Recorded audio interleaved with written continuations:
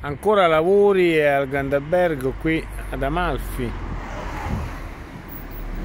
Si aspetta l'apertura finalmente dopo tanti anni.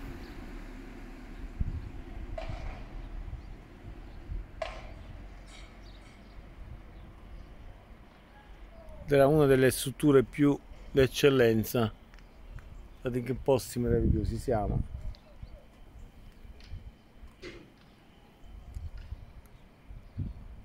da Positano News. È tutto